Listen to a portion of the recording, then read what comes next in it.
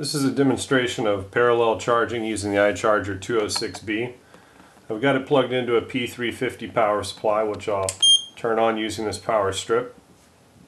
So I've got two accessories here. One is a 6S parallel lead cable for the main charge and I'll plug that into the iCharger right here. The iCharger set to LiPo balance charge mode at 20 amps. And we'll also plug in a 6S parallel JST-XH adapter which allow me to plug in six 3S batteries.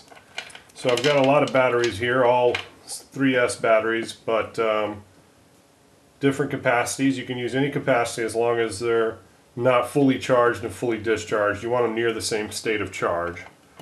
So I'll take and just start plugging in the main charge leads here. Cable comes with little protective caps to make sure that you don't short some of these connectors together when some are plugged and some are unplugged here.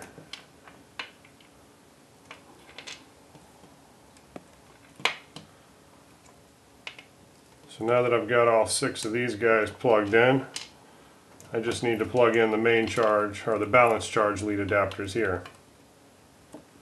So the order you do these connections doesn't matter but I prefer to do the main charge leads first so that they can equalize out voltages a little bit better through the larger gauge cables.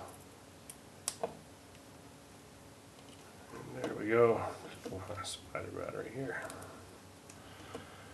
And then just hold the enter button to start the charge.